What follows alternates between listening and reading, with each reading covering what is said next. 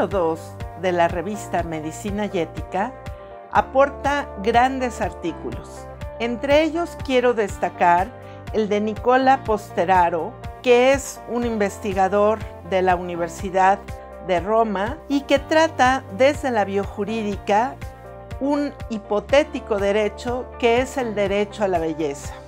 Se trata en realidad de un artículo crítico a la medicina del deseo, en donde pone, por ejemplo, de la cirugía estética, justamente la presión que el paciente cree que tiene con necesariamente ser bello y se plantea interesantes preguntas.